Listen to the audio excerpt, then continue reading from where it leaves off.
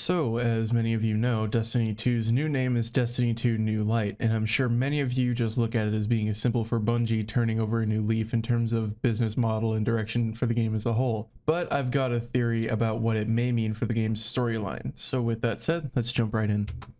To start things off, I'd like to bring us back to the collapse, where the Traveler has just been crippled by an unknown attack by an unknown entity. Many people theorize that Rasputin did it, correct me if I'm wrong, but I don't believe that was confirmed or denied by Bungie as of yet. And then the Traveler creates the ghosts, you know, that little quirky little robot thing that hangs over your shoulder and revives you when you die.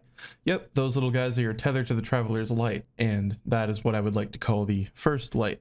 Now we'll fast forward to current time. We've defeated Ghaul, the Travelers reawakened. We've defeated Panoptes, Xol, the Scorn Barons, Prince Uldren, Riven, and finally Savathun's daughter, Dul Incaru. So what's next? Well, seemingly it would be those pesky nightmares we've been hearing so much about, but my theory has a little bit more to say about that. What if new light signifies more than we originally thought?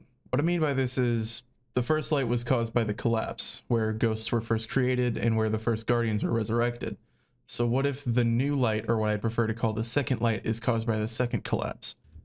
After all, those pyramid ships have been mentioned a lot since the first time we saw them back in 2017, and the Nine seem to be worried about them if the nine are worried about them, I think it's time we should be worried too. Now, all of you lore masters out there, I'm sure have already thought about this, and feel free to correct me on whether or not any of this is accurate, and I'd be happy to see your responses in the comments down below. And with that said, I'll be leaving you. Leave a like on this video if you enjoyed, subscribe to stay notified on when I upload new videos to this channel, and check the links in the description below for my Discord server, my Mixer channel, and my Streamlabs link to support the channel. Have a great season of Opulence, Guardians. I've been Dylexion, and I'll see you Starside.